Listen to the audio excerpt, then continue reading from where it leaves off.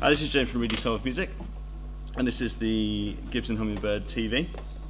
It's got a beautiful solid Sitka spruce top and mahogany back and sides. It also has a beautiful thistle inlay on the top and traditional binding. Um, the hand scallop bracing here behind the top helps the guitar project really well. It's really nice and bright, clear sound.